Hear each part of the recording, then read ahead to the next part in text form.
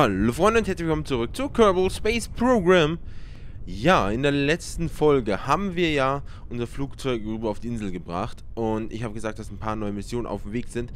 Es ist einiges in Planung, aber davor müssen wir mal gescheite Bilder hier von Kerbin machen, weil ich glaube, wir haben noch keine. Und deswegen gibt es diese kleine süße Rakete hier, die ist relativ simpel aufgebaut mit simplen Triebwerken, die wir schon lange, lange besitzen und hat oben einen kleinen Satelliten drin sitzen, der mit äh, Image-Technik ausgebaut ähm, ist, damit die benutzt werden kann. Und ich würde sagen, wir starten die Rakete in 3, 2, 1, Liftoff. Ähm, hier ist irgendein Fehler passiert. Erstens hängt das Spiel wie Sau. Zweitens hat eine Seite vom äh, Zurücksetzen. Bitte nochmal auf Start. What the fuck?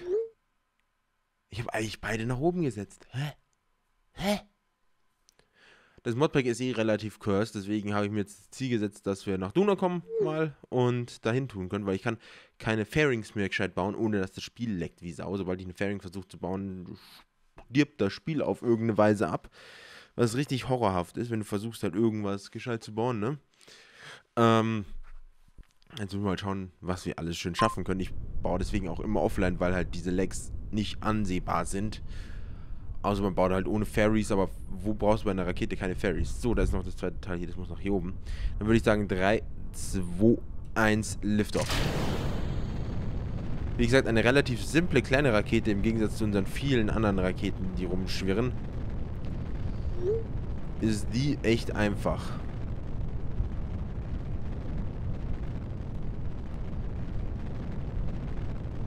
Wir haben auch irgendwie keine Steuerung, habe ich das Gefühl. Äh, Leute, was ist jetzt los? Es hat doch ein Gimbal drin verbaut.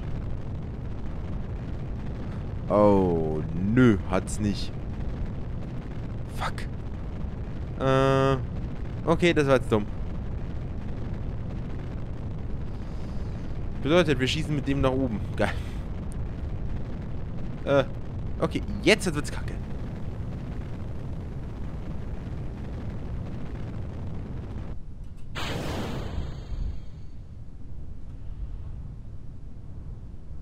So wie das Triebwerk funktioniert. Und das Spiel das macht, was ich will. Ja. Okay, nope. Und es funktioniert. Einmal kann man eine schnelle Drehung davon. Gut. Nein! Oh, verdammt! Okay. Jetzt seht ihr den Horror, den ich zu unternehmen hatte. Warum passiert das? Oh Gott, oh Gott, oh Gott, oh Gott, oh Gott, oh Gott, oh Gott, oh Gott, oh Gott, oh Gott, oh Gott, oh Gott. Oh Mann. Ich habe vergessen, dass das kein Gimbal hat unten der, der Antrieb. Das ist echt beschissen. Weil die normalen Triebwerke haben ja schon Gimbal und das ist, hat eines, das ist halt, hat voll Kraft drunter, aber hat null Gimbal. Und jetzt seht ihr, was mein Leck immer ist. Ich versuche jetzt zu arbeiten. Mhm. Kann voll gut und so. Wenn man versucht, ein Triebwerk zu tauschen, das ist schon wie, als ob man die Puppet Show anschauen würde hier. Ich will dieses Triebwerk nehmen. Geht. Dann brauche ich das neue Triebwerk, dann nehmen wir das hier. Ist so der Horror. Du kannst dieses Triebwerk nicht anbauen. Solange du diese Fairing dran hast, Bruder. Die muss immer die Fairing abnehmen. Hier dran setzen. Das dran setzen. So. Umbauen. Zack. Du musst halt dann immer mit irgendwelchen Planen, Plans aufkommen, damit du das anbaust. Wir setzen das jetzt noch hier schnell an. Es tut mir sehr leid für euch, dass ihr das miterleben müsst, aber was soll ich machen? Was soll ich machen, ne? Ich sehe gerade schon wieder einen Fehler. Da ist ein Staging-Fehler. Da ist ein großer Staging-Fehler. Und falls ihr ein Rauschen im Hintergrund hört, ist es der Laptop neben mir da drüben. Der versucht gerade ähm, Zorin aufzusetzen. Das ist ein, keine Ahnung, wie alter Laptop von meiner Freundin. Und auf dem will ich ein, ein Linux-System aufsetzen, um zu testen, ob das besser ist und wie das allgemein ist für große Systeme auch in Zukunft, weil ich überlege, anstatt auf Windows 11 auf Linux zu wechseln. Ich dann wieder denken, oh nein, Linux. Aber es ist echt gut geworden mittlerweile und Sorin kann man vor allem auch nicht nachsagen, dass es schlecht wäre. Und ja, es ist leichter, es ist halt nicht so massiv wie Windows 11. Windows 11 hat viele Rumor schon wieder gemacht. Klar, es wird am Ende ein typisches Windows wahrscheinlich sein. Aber ähm, man muss auch irgendwann mal überlegen, ob man aus dem Loop raus will oder ob man im Loop drin bleiben will. Und ich habe beschlossen, ich versuche aus dem Loop rauszukommen, wenn es möglich ist. OBS gibt es auch, Ding, leider funktioniert Action nicht so, wie es bräuchte. Aber was willst du machen, ne? Ich würde sagen mit 3, 2, 1. Oh, ne, warte, stopp, bevor wir das machen. Lass hier hoch. 3, 2, 1, Liftoff. Das ist jetzt nicht die stärkste, der, das stärkste Triebwerk. Aber es hat Gimbals. Von daher ist es schon mal um einiges besser.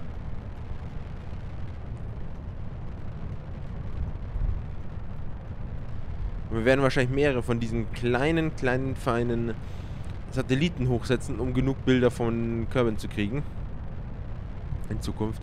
Hier sehen wir eh auch, welche alle hier zur Verfügung stehen. Wir sind aktuell Küstengebiete. Rassland haben wir hier, Grasland haben wir hier. Der eine ist hier. Das ist cool, dass du halt wirklich siehst, wo welcher lang fliegt. Das finde ich echt cool gemacht. Instrumentenanzeige. Oh, schau dir das an. Da kannst du dir sogar anzeigen lassen, was da für eine, was da alles am Boden an Mineralien gibt.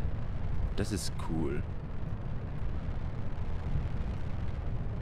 Aber wir werden jetzt langsam mal nach Norden fliegen. Was ja eigentlich die ganze Zeit auch der Plan mit dieser Rakete ist.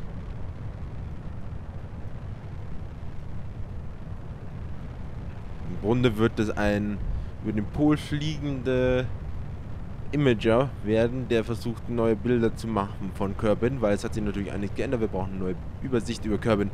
Das sollte hoffentlich dabei helfen. Und als nächstes würde ich dann gerne mal schauen, ob wir vielleicht nach Polau fliegen können und alles drum und dran. Aber dafür holen wir uns einen unserer alten Freunde wieder. Schauen wir ob der noch gut im Zustand ist. Wir sind bei 7000 Meter mittlerweile. Äh, 7000 Meter, genau. Ja, doch, das stimmt. Ich denke immer, ich sage eine Scheiße, aber diesmal sage ich so richtig. Es sind 8000, 9000 Meter jetzt gleich. Wir bewegen uns auf die 45 Grad zu. Haben die 45 Grad erreicht.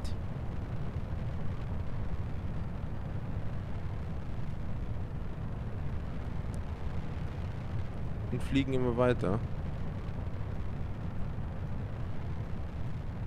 Wie schaut es aktuell mit unserer Flugbahn aus? Perfekt, so wollen wir das. Noch genug Schub drin. Die Überstage hat natürlich auch Antrieb, aber einen sehr, sehr kleinen, feinen Antrieb. Kein Monopropellant-Antrieb, wie manche wahrscheinlich vermuten würden. Aber trotzdem einen feinen Antrieb. Ich will halt schauen, wie viel ich insgesamt hier kriege. Vielleicht ein bisschen überbaute Rakete sogar. Ich weiß es nicht.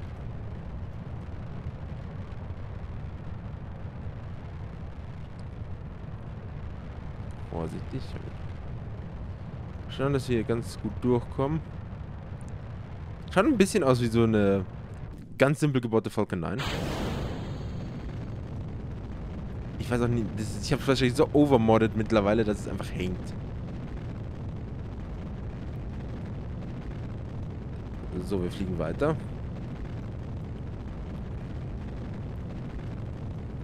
Schauen wir, dass wir auf die 15 Grad runtergehen können. So, perfekt. Dich. Perfekt. Schießen wir natürlich mit Vollkaracho durch die Atmosphäre durch.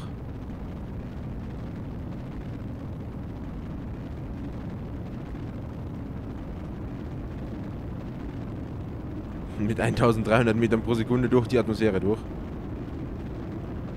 Das ist ein dezenter neuer Approach, auch an der Flugvariante. Um zu gucken, wie effektiv das so zu fliegen ist. Auch, dass der Periapsis halt früher oben ist damit wir besser mit den nicht atmosphärisch gedachten Triebwerken arbeiten können. Äh, und wir halt nicht dementsprechend auch viel Kraft brauchen, dann wenn wir im Weltraum sind, um nur unseren Orbit anzupassen. Deswegen versuche ich halt früh gemütlich nach unten zu kippen, damit wir weniger verbrauchen, wenn wir oben sind.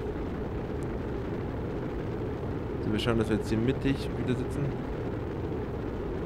Jetzt sind wir bei 70.000.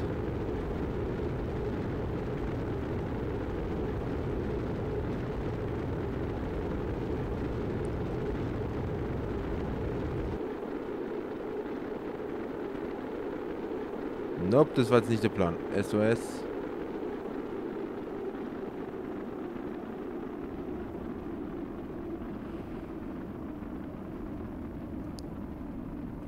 Müssen noch warten, bis wir da rauskommen. Wir müssen noch warten, bis wir rauskommen. Wir müssen noch...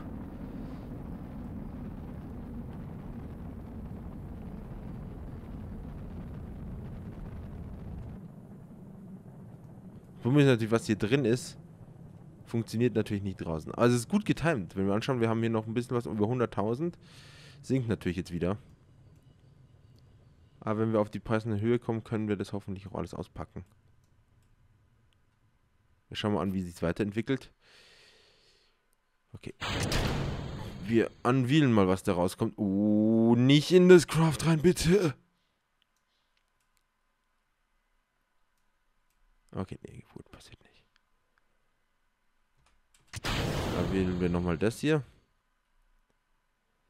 Wir sind hoch genug, so wie ich vermute, dass das passt. Kann ich hier auch Datenmanagement anschauen? Nee. Time Warp Resolution. Farbmanagement. Lol. Was man alles einstellen kann, das ist Wahnsinn. Stock UI? Nee, was? Load Landing Target.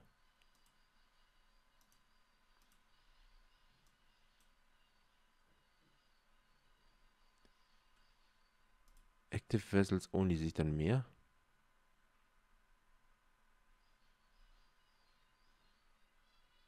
Nee, schade. Wäre lustig gewesen. Wir fliegen jetzt rauf und dann werden wir das hoffentlich uns allein können. Handy, Ruhe da unten.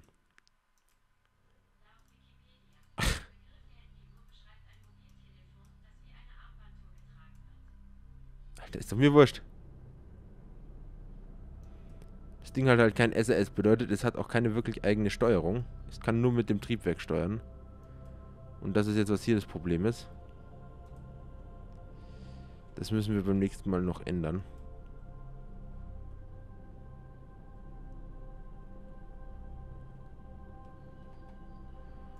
Er dreht sich jetzt im Kreis und versucht... Start Scan. 70 Kilometer ist ideal, aber er ist tief genug und macht hoffentlich neue Bilder nun von Kerbin.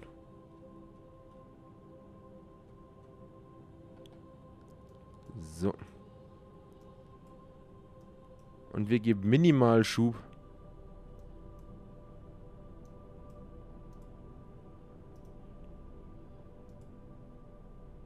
Schauen wir mal, was die noch eigentlich machen müsste. So, vorsichtig.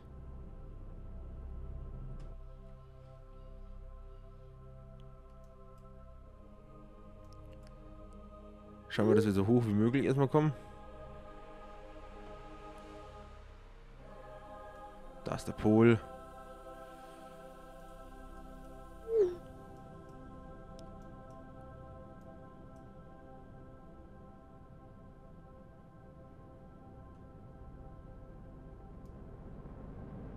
Jetzt drehen wir das Triebwerk einmal hoch. Und schauen, dass die andere Seite relativ schön hochkommt. Bisschen über die 70.000 und versuchen wir nicht die andere Seite danach runterzuheben. So, perfekt.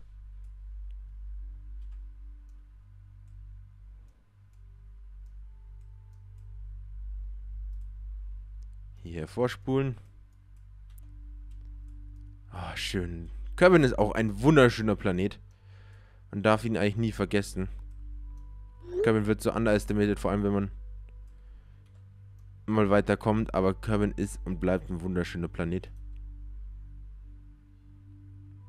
Jetzt sieht man, hier kommt der 2er. Das, nee, wir sind 1. Wir haben einen, der uns hier so ein bisschen accomplished.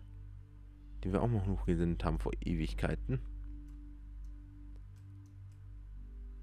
Der Orbitaner.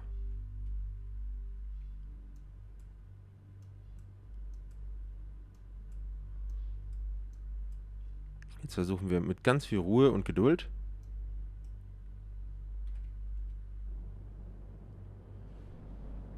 Den Orbit runterzusetzen hier.